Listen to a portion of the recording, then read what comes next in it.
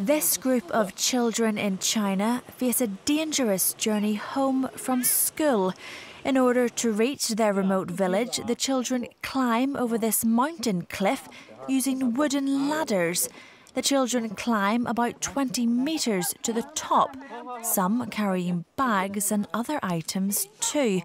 And it's not just the villagers who travel this way. This dog makes the climb look almost easy. But for some, the trek is terrifying. It makes my legs shiver.